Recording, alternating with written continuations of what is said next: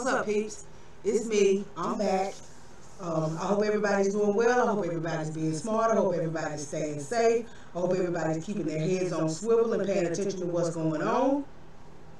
But most importantly, I hope everybody is staying on code or getting on code, trying to figure out what the code is. Uh, and getting it together because it is so much going on that we definitely need to be on code. We need to be watching each other's backs. We need to be circling our wagons. Um, we need to be calling out these folks with this uh, coonery and buffoonery and all of that. Um, most definitely. But um, I just came tonight. I know it's I know it's, it's 3:01 a.m. over here on the East Coast. I'm, you know, y'all know I'm down here in the South, in in, in North Carolina, in what they call it, North Kakalaki. Um, but I just wanted to come and bring y'all uh, some of the latest information, and I want to reiterate uh, some information that was in, I think it was in either one of the lives, because I, I, I, started doing lives now, and there's two lives posted on this channel. Um, I want to bring y'all some information that I think I put in one of the lives, but I want to reiterate that information because it's very important.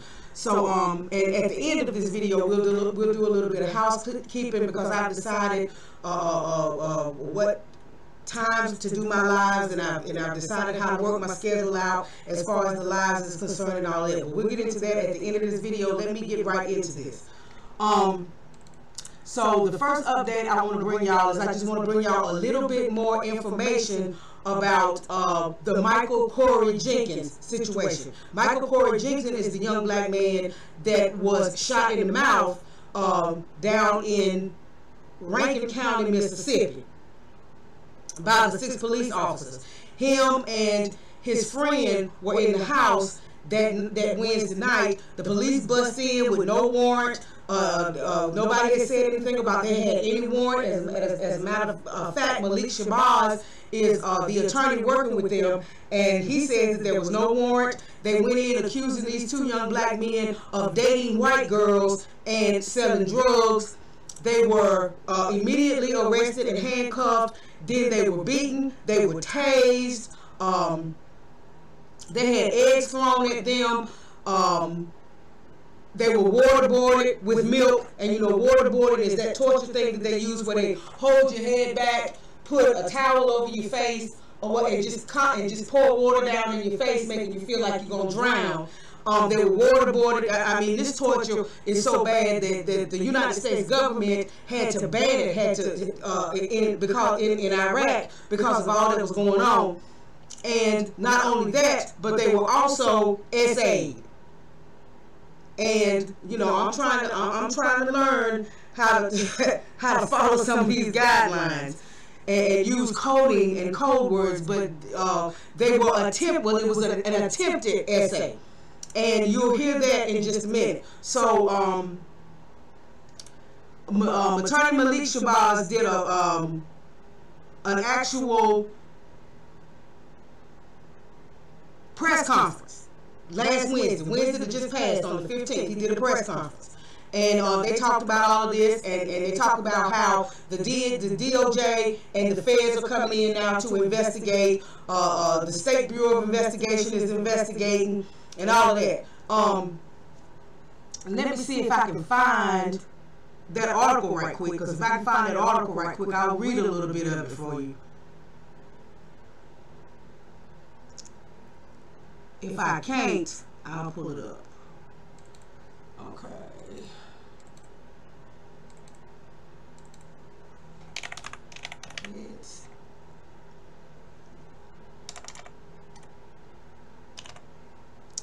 Hold on, y'all. Yeah, there it is.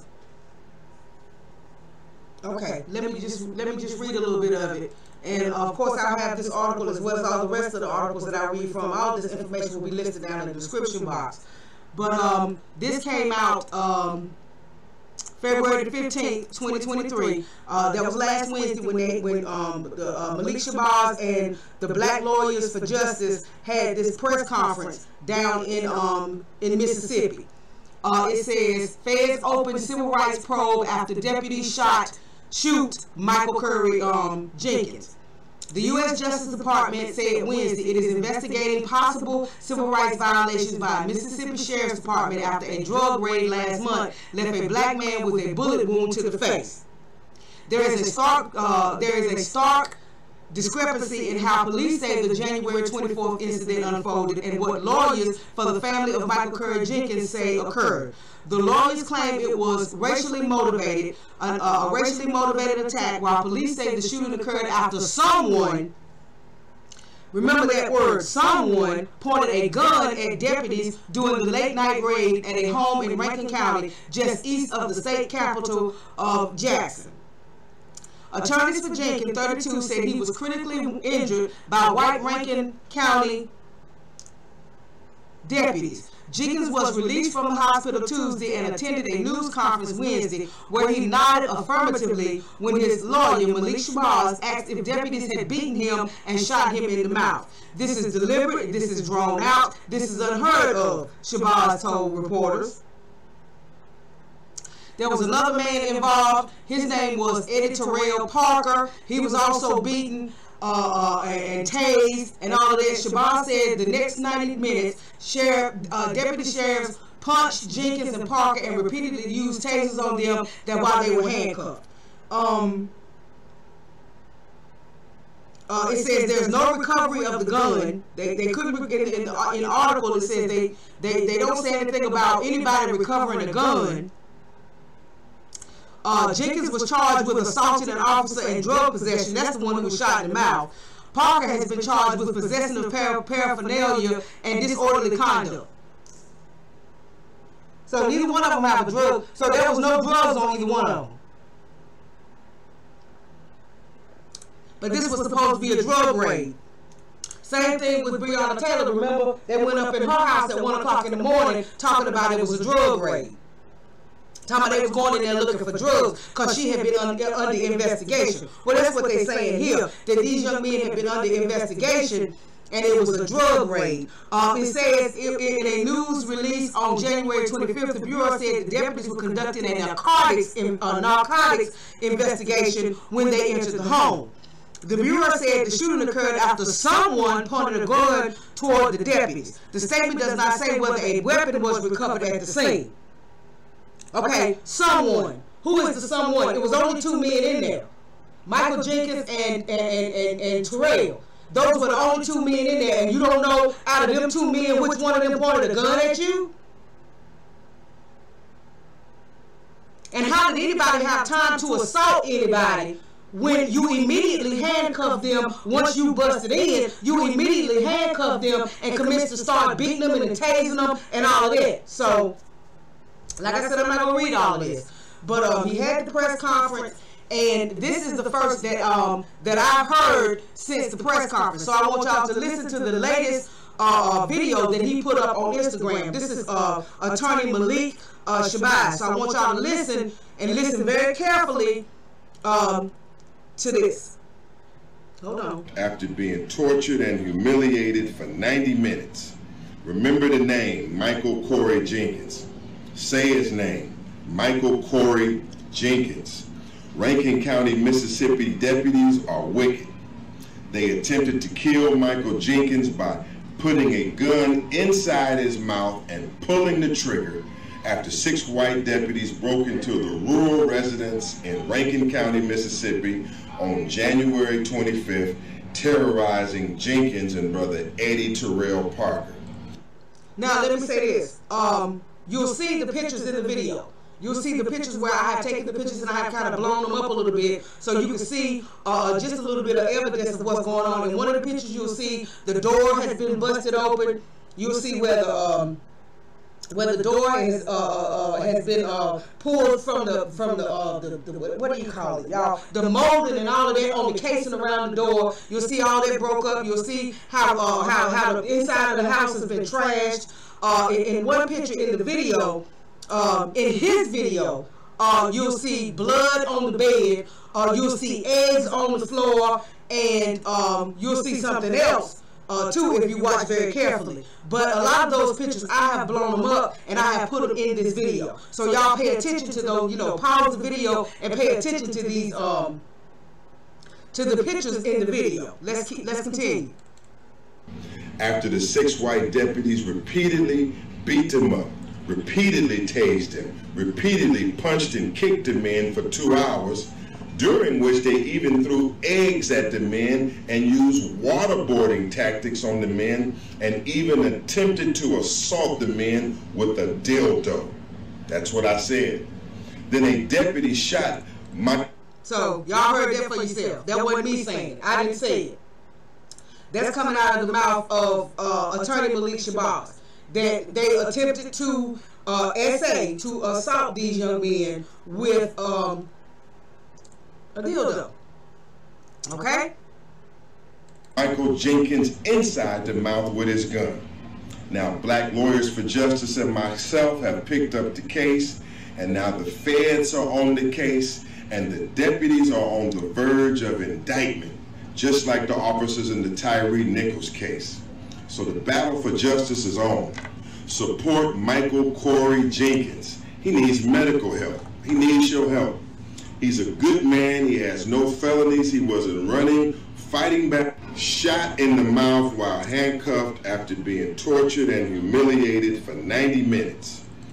So that's it. That's that. That's the latest of what's going on. You heard um, uh, um, Attorney Malik Shabazz say that these men are on the verge of indictment that these six police officers are on the verge of indictment. So um, the black community has got to, we've got to band together. We've got to get on code. We've got to circle around this. We've got to share this information because remember, none of this was being put out. None of this was being put out. No local media was covering it. National media was not covering it. Nobody was covering it. Folks was running around talking about it. It was a scam. It was a lie. The whole nine yards. I was one of the first ones in the new black media to actually bring attention to this. And I learned it from, uh, uh, uh, I think somebody had posted something about it on social media. And I got curious, so I went looking. I couldn't find anything. But remember, I told y'all all I could find was, was, was YouTube videos, and there's a whole lot of stuff on TikTok about it. So um, I followed the trail, and it led me to this white girl's, this this white woman's channel. Her name is, uh, uh, uh, I think it's True True Crimes with Shannon. It led me to her channel, and from her channel, I was led to the Pascal Show, which is a black gentleman that does. Uh, uh, he's a YouTube uh, uh, content creator. And that's how I found out what I found out. And then I started digging. I went to Malik Shabazz's page on, on Instagram, and that's when it all started coming together. I went to all these Twitter accounts that had all these hashtags, and that's when all the information started coming together. And I just kept on going to Malik's page every day until I got more information. And finally, finally now, it's starting to get just a little bit of coverage. But it's only getting a little bit of coverage and it's up to us to make sure that it gets the court coverage it's supposed to have. Because if the Memphis Five, and that's what I call them, the five, them five beasts that beat and and and and, and killed uh, Tyre uh, Tyre Nichols, if they could be uh, fired, charged, arrested within a number of days, I mean, from the time the incident took place on January the 7th until uh, until they were arrested. I think they were arrested. They were fired and arrested.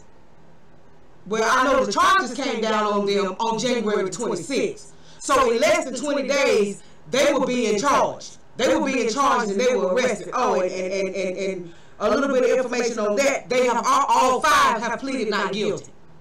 All five have pleaded not guilty. So just remember that. All five of them have pleaded not guilty. But um, if, if, if, if we could get the firing, we could get the indictment, we could get the charges, and we can get them arrested in, in the space of 19 days, then we can do that in this situation as well. These police officers can go down the same way. But in that article that I just read, you notice they don't say anything about the articles, the, uh, the officers being fired. They don't say anything about whether or not they're on administrative leave. None of that. So we're gonna have to push this, and we're gonna have to let them know. Y'all set the precedent in the in the, in the Tyre Nichols case, and you keep trying to act like it's not about race. Okay, well if it's not about race, then these six police officers need to be looking at the same thing that the Memphis Five looking at. The exact same thing. But this is just what's going on. And like I said, the link to this will be down in the description box. And, and some of the pictures that are in his video will actually be in my video. So like I said, y'all pause them and take a good look at those pictures. And, and you can see that it's, it's a whole lot went on in that house that night. Okay? All right, now I'm going to move on because I don't want to be here too long because it's late. But uh, I want to move on and I want to touch base on this again because I think this is very important. And um, this is the story about Tyre Nichols' family going to the United Nations and filing an urgent appeal with the United Nations. This is coming from the Hill. This was February 10th, 23. Family of Tyree Nichols files urgent appeal with United Nations. The family of Tyre Nichols has filed an urgent appeal to the United Nations requesting action regarding the torture and extrajudicial killing, extrajudicial killing of Nichols. Today we filed an urgent appeal before the United Nations asking it to condemn the tragic killing of, Ty of Tyre Nichols to demand transparency from the police department and to demand that Officer Preston Hemphill and all officers that participated in the incident are criminally charged. Attorneys for the family said in a statement. Um, I think there were eight other officers that they said. Uh, and, I'll, and I'll see if I can find the article, and I'll list it in the description box if I can find it. But there were eight other officers that were fired, and they were they they were they were they were charged, but they were charged with violating uh, uh, things like uh, police policy and departmental policy and stuff like that. They they didn't they they're not facing any kind of criminal charges. The only ones facing any kind of criminal charges are the Memphis Five. And so his parents have gone to the to the to the United Nations to say, okay, the rest of them need to be criminally charged as well.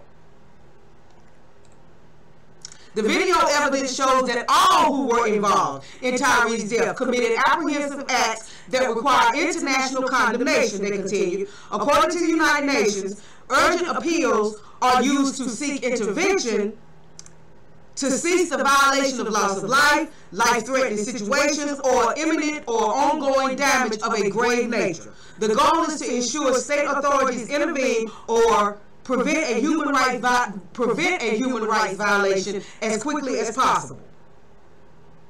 So that's about it for that. But uh, I just wanted to remind y'all that his family is moving forward, and, and, and they're not thank goodness it doesn't look like they're just sitting around waiting to see what Biden or what anybody here in the United States is going to do about this. They're taking it to the next level. And that's a good thing. They are taking it to the next level. You understand what I'm saying? And hopefully, because if I'm not mistaken, I think I heard that uh, Ben Crump and uh, Malik Shabazz kind of work together on certain things. So hopefully there will be something that Malik Shabazz will think about doing also in this Michael Corey Jenkins case. Taking it before the United Nations, filing this urgent appeal uh, before the United Nations. Because the United States, uh, the, the, the United States doesn't want that type of attention. The United States does not want that type of attention uh, uh, uh, from other countries around the world, especially when they try to get on this high horse about human rights violations and all of this with other countries. And then, you know, all of these countries find out, okay, well, this is the kind of stuff that's really going on behind closed doors in the United States. So I really, really hope that it's something that Malik Shabazz and the, and the other black attorneys are thinking about doing in this Michael Jen, uh, Jenkins case as well, okay? So I just wanted to refresh y'all memory of that. I mean, yeah, refresh your memory about that. Also, as far as the Tyre Nichols case is concerned, I thought this was very, very interesting. Now, this came out in Fox News. Jessica Chasman, Chasmar, Fox News. What's the date on this? Uh, February 12, 2023, right? Um, Jamal Bowman says Tyre Nichols killed by white supremacy after fatally beating by black cops. Bowman says at the root of it is the dehumanization of black people. Lord have mercy. He had to add that people of color and particularly black men. He was fine until he added that that, that people of I'm, I'm telling you. I'm telling you, you try to give these these um black politicians an opportunity and and and and, and, they'll uh, uh, cool it up every time. They're going to add some kind of little cool spice to it every time. That's the reason why he had to add that little people of color. It can't never just be about us when it is just about us. Because you don't hear this happening to nobody else. They ain't going around putting uh, uh, uh, police officers putting guns in the mouths of Asian people or, or, or, or or, or, or, Hispanic people or, or, Middle Eastern people or, any so what, what is this? Talking about people of color. This ain't happening to people of color. This is happening to black folks, like he said, particularly black men, but he could have left that people of color out of there. But anyway, let's keep going. Um, and listen to the video because the video is a, um, there's a, there's an audio with it, a video with it, and listen to that because it's important. It's coming from a, a, a dean of uh, Columbia's School of Journalism is is, is actually uh, chiming in on this. But anyway, Representative Jamal Bowman said a Memphis man who was fatally beaten by black police officers was killed by white supremacy and America in a recent fundraising email by his re-election campaign. Tyre Nichols should be alive today. Instead, like so many others, he was killed by police, killed by white supremacy, killed by America. Read the campaign email sent Monday on behalf of the New York Democrat. The New York Post first reported. This is black terror, the email said. We feel it every day. We feel it more today. Too many victims to name, too much hurt to explain, too many tears, too too too many tears, too to normalize, too normalized, too known. From 1619 to the present day, we live in a constant state of terror. Nichols, who was black, died after he was brutally beaten by five now former officers with the Memphis Police Department during a traffic stop. Okay, I'm not going into all of that. Um, all the ex-officers except Bean have infractions in their work records ranging from using physical force during an arrest to failing to report a domestic violence incident. All five were also named in a lawsuit and accused of beating a black army veteran days before their encounter with Nichols. So, um, that's another thing that, that, that, lets us know that this wasn't personal. That this was just their uh, uh, mode of operation. This is just the way they got down. This is the way this Scorpion unit, this is just the way they got down. You understand what I'm saying? That's, that's what it was because we've had other folks that came forward and said that they had violent interactions with this Scorpion unit. Okay? In his fundraising email, Bowman claimed Nichols' death is the result of an operating system that dehumanizes black people. Police brutality happens in New, in New York, in Memphis, in LA, in cities across the country, small towns across the country, and throughout American history, the message read according to the Post. At the root of it is the dehumanization of black people, and particularly black men. This kind of white supremacy is not just about skin color, however, it's about ideology. It's the operating system on which too much of our society is based. We need my fellow members of Congress and President Biden to provide historic leadership on this issue. Oh, Lord. We cannot maintain this status quo. We must lead for black lives and lead for black humanity, added the email, which included a donate a donate link. So they trying to throw that in there to try to act like, you know, it was something wrong with him asking for donations or whatever. Anyway, now remember, this this this was written by Fox uh, Fox News. Um, while the officers accused of killing Nichols are black, progressives have claimed Nichols' death can be blamed on white supremacy due to institutional, institutional racism that treats black people as inferior. The University of Minnesota's Center for Anti, Anti-Racism Research for Health Equity issued a statement arguing that the killings, terror, and oppression are di direct results of anti-black racist attitudes, policies, procedure, and leadership that pervade our institutions.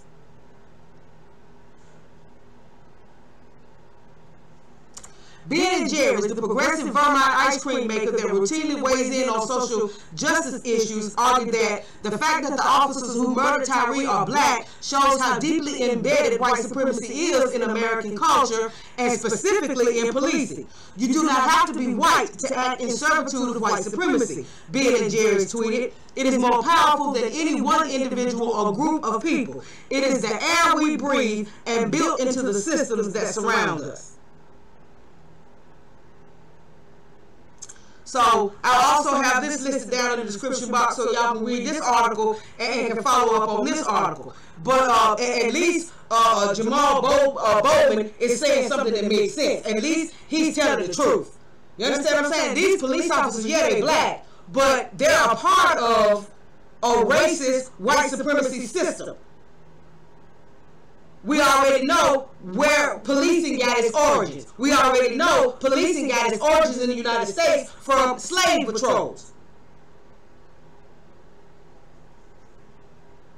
And in order for you to, to really, really, really, really um, achieve what you might be wanting to achieve in that system, we already talked about it. You gotta be willing what you gotta be willing to do what you gotta do. And they were willing to do it because they stopped being black and they considered themselves blue. Now, blue don't consider them blue, but anyway.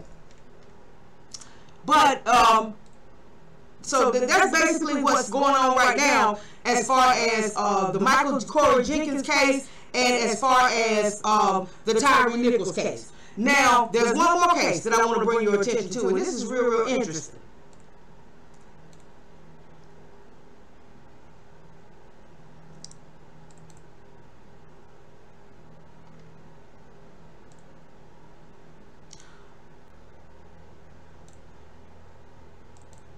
Okay, it's not gonna let me read it.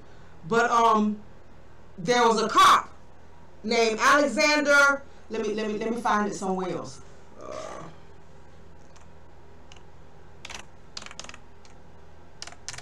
hold on, let me find it.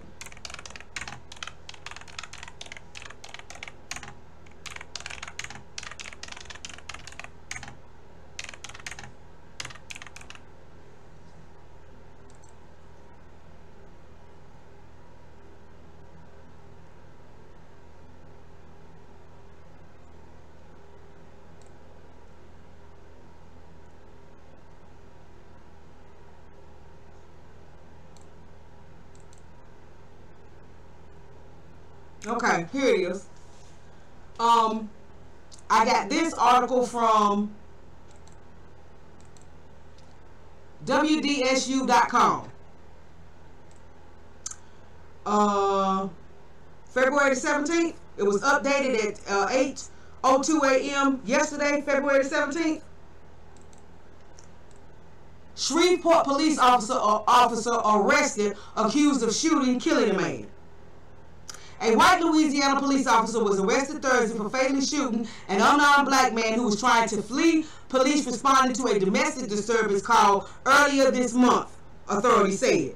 After reviewing evidence and footage from officers' body, cam- body worn cameras, state troopers charged Shreveport, Shreveport police officer Alexander Tyler, 23, with negligent homicide in the death of Alonzo Bagley, 43. Louisiana State Police on Thursday released body camera footage of the fatal encounter as well as audio from the 911 recording uh, reporting the initial disturbance. Officers responded to the disturbance around 10:50 p.m. on February 3rd in Shreveport, a city in northwest Louisiana. In the 911 call, a person who identified herself as Bagley's wife said her husband was loaded on something and threatening her and her daughter.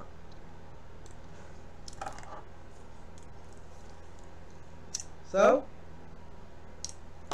she made that call, and now she ain't got to worry about him being loaded on nothing or threatening nobody or nothing else, because now he gone.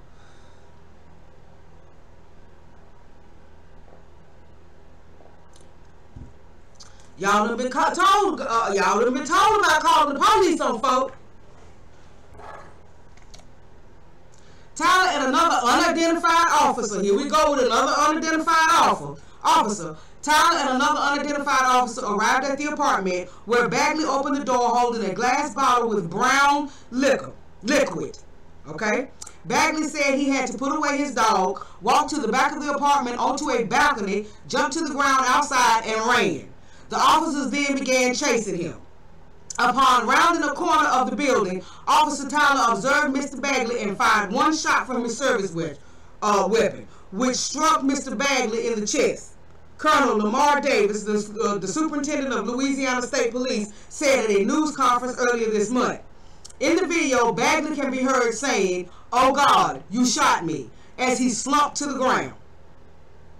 The officers immediately rendered aid as one of the men, it is unclear who, said, No, no, sir, sir, hey, hey, hey, no, no. Didn't want him to die because he realized that he, he, he, had, he had, that was the moment he realized that he had effed up. Family members of Bagley have filed a $10 million lawsuit against Tyler. The lethal force used against Mr. Bagley was unjustified, unreasonable, excessive, and in violation of Mr. Bagley's rights under the United States Constitution and the laws of the state of Louisiana, the lawsuit said, which was filed by Bagley's wife, mother, and stepdaughter. So the wife gonna call and get the man killed, then she gonna file a $10 million lawsuit.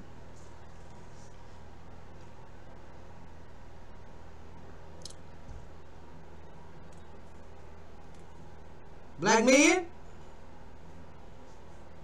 pay attention. She gonna call the police, get the man killed, and now she filing a $10 million lawsuit.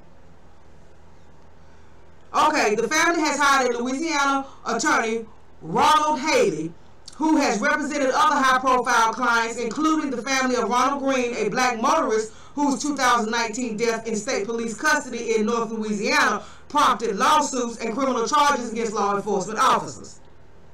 During a Thursday afternoon press conference with some of Bagley's relatives, Haley said the fact that Bagley fled from police should not equate to a death sentence. Flight does not mean shoot to kill, Haley said. Flight does not mean you are the judge, jury, and executioner, and that's what happened. That was what happened in this case, and it is an accident that we see far too often in the state. It is, it is an incident, not accident. It is an incident that we see far too often around this country. It was not immediately clear Thursday whether Tyler had hired an attorney who would, who could comment on his behalf. Lieutenant, Lieutenant Melissa Matey, a spokesperson for the Louisiana State uh, Police, said that the investigation is ongoing. So he's been arrested.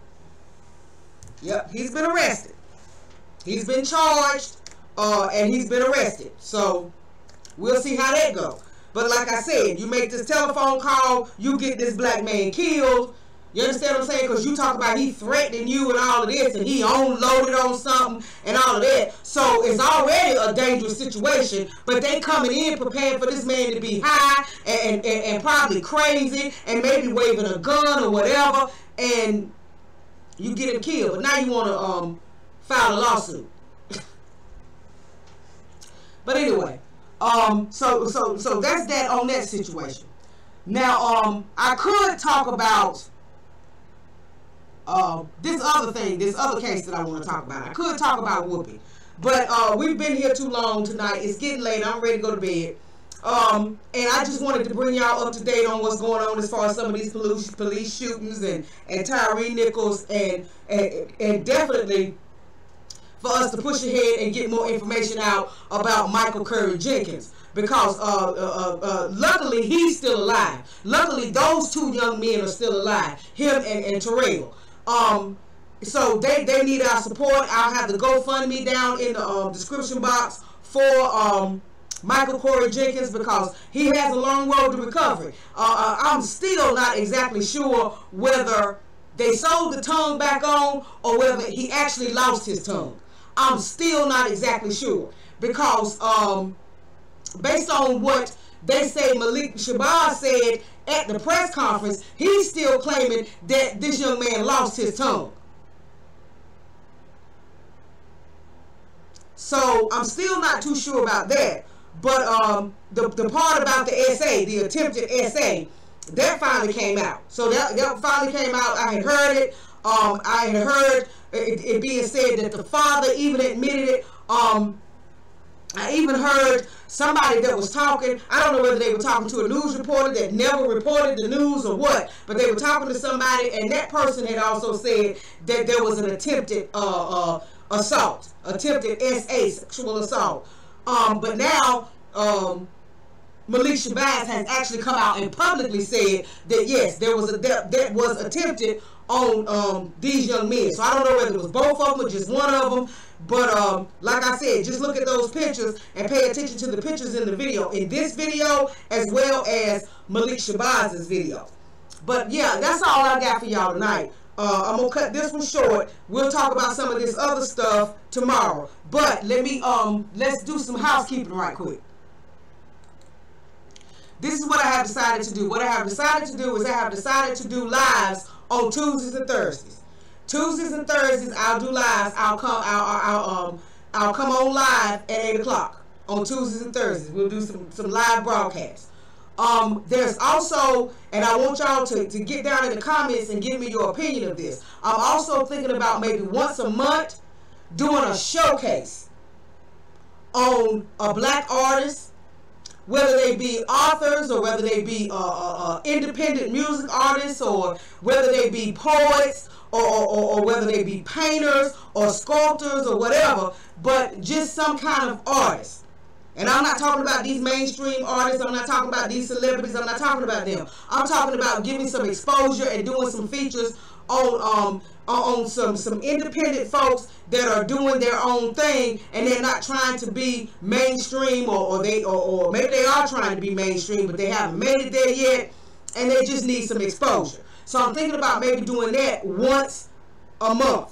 You know, and when we don't have artists, maybe there's a particular black business. And I'm not talking about black meaning that there's a black front, front person, but all the funding is coming from the dominant society. No, when I say black, I mean black owned, black operated, and, and maybe we can do uh, once a month, we can do a feature on a black owned business. But that's what I'm thinking about doing, and that's the direction that I'm thinking about taking the channel in. So, like I said, y'all leave your comments down in the description box and, and give me some ideas and let me know, you know, what y'all think about that. But like I said, I intend to go live on Thursdays, on Tuesdays and Thursdays uh, at 8 o'clock. 8 o'clock Eastern Standard Time. Okay, because I'm on the East Coast. So, um, and, and, and that'll be my schedule until I go back to work because, uh, I didn't tell y'all this because it, it, it, it wasn't really all that important, but um, I lost my job when my car broke down. I lost my job, so I'm not working right now. So hopefully, um, that'll give me the opportunity to, to build the channel, to get some lives, because I've been experimenting with this live thing and all of that. And yes, there will come a time when I get my little setup and all that kind of stuff together. There will come a time when I might come on camera every once in a while but it won't be often because this is not about me. I don't like to be seen. I have never liked to be seen. I like to be the force behind the scenes. Okay? But yeah, we're going to do the lives on Tuesdays and Thursdays at 8 um, Eastern Standard Time. And then maybe two or three other days a week, we'll just upload videos. Okay? And like I said, get down in the description box and give me your uh, feelings as far as us doing this once a month feature thing on, on artists or, or black businesses or whatever and, and any other suggestions that you might have. Um, all the information for this video, of course, will be linked down in the description box, as well as the GoFundMe for Michael Corey Jenkins, um, as well as all the information, my GoFundMe, and all the information on how to support the channel, the email for the channel. If, if there's anything particularly you want me to talk about or anything that you want to tell me and you don't want to put it in the comments or whatever, the email for the channel is it, it will be in the description box. Um, Y'all please like this video. Uh, please share this video. Please share this information on and off social media. Uh, let folks know what's going on so that we can back these folks so that we can support these people. Um, yeah, and I and I'm gonna bring this information to you tomorrow too. Um, let me go ahead and tell y'all this now because it, it, it's important. Let me do this right quick. Um, hold on, let me find it. Let me find it. Here it is. I'm gonna actually let y'all listen to it. Um, today is the 17th, right? Um, and they actually today was the day that Courtney, that that that farmer Courtney and his wife uh, Nicole, the black ranchers down there in Colorado that are having such a hard time and being terrorized down there. Well, today was the day that they had their um their um their uh, gathering or, or their march or whatever to Denver, Colorado, to the capital to uh, of Colorado, which is Denver, and um, they went to the state's capital, and um, it was a big turnout. Um, what I'm hearing is, uh, uh, and I'll have the link to this person's Twitter page down in the description box because uh, uh, this person has most of the information on that. But uh, coming from Black Farmland Owners Matter, today was powered by the people. CW and Nicole Mallory appreciate our people who have supported this movement to save Freedom Acres Ranch and uh, Farming Peace, Five Dirty Racist Cop, um, Gearhart, we need an independent investigation into hate crimes. Um, and it shows several videos. This is a video of his wife talking. Again, again, we are powered by the people. We don't need national media. Because everybody has shared the story. And CW has been all over internationally, right? When they tell you you need CNN, Hell no! You, you need the New York Times. Hell no! You need that. You need the people. That's right. And like again that I say, this is not a moment, this is a movement. This is for every black and brown boy who thought they couldn't be a farmer. Let's go. This wasn't for them. And, and, me stop. You know, I, I don't know where these black people are getting this black and brown from, and this people of color from, and all of that. But what they don't realize is what they're doing is they're harming their own case against these white supremacists with all these black and brown. Cause ain't no black and brown. Ain't this ain't happening to to brown folk. This is happening to a black man and his black family on his black ranch.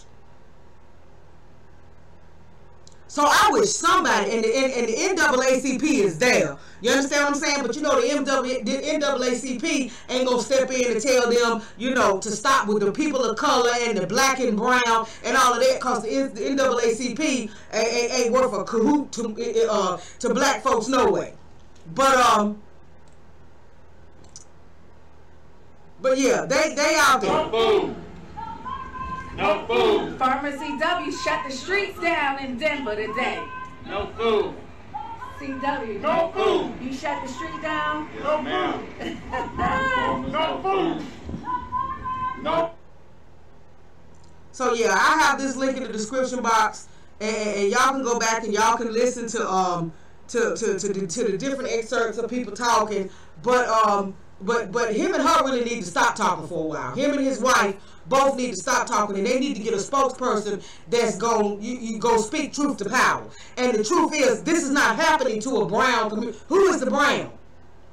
This is not happening to, to any brown. This ain't happening to white. This ain't happening to Latino. This ain't happening to Jewish. This ain't ha- this is happening to y'all. And y'all are black. And the reason why it's happening to you is because you're black. So, you know, they need to get a spokesperson that's going to go in and, and going to speak this thing the right way because some of the stuff that they're saying is actually doing their case and doing their situation more harm than good. So I hope if they're listening or I hope if anybody that knows them and that contacts them is listening, uh, you'll sit down and have a conversation with them and tell them, uh, you got to stop with the black and brown. You got to stop with the people of color. You got to stop with that. You got to stop trying to be politi- uh, politically correct or whatever the case may be and just hit it for what it is. You being treated like this, you going through all of this simply because you're black. But I did want to let y'all know that they did have uh, uh, uh, um, the, the pull-up. That's what they were calling it. They did have the pull-up today in at, at, the Capitol in Denver, Colorado, and um, it appears that, that quite a people, quite a few people showed up to support them, and we will continue to support them. But like I said, they just need somebody else to be their spokesperson to speak for them, they need to stop speaking and let somebody else that, that, that, that knows what this is really all about and knows what it's going to take to get them what they really need to speak for them because they, they, they're doing a little bit too much, okay? But um, I just wanted to bring y'all that. Like I said, uh, I'll have that link down in the description box as well so that y'all can go listen and y'all can go see. And of course, we will continue to support. Of course, they still have their GoFundMe. So if, if, I, if, I, if I remember to get it, I'll put that down in the description box as well. But uh, yeah, it's just a lot going on that we need to know about. But like I said, y'all make sure that you share this video. Make sure you like this video. Uh, make sure you hit the su subscribe button. Make sure you hit the bell notification so you can be notified when we upload and when we go live. Um, keep your head on swivel. Keep your power tools at the ready. Be smart. Be safe. But more importantly, be on code be on code because that's what it's going to take for us, okay? All right. Uh, that's it, and I'll get back with y'all later. Y'all have a good one.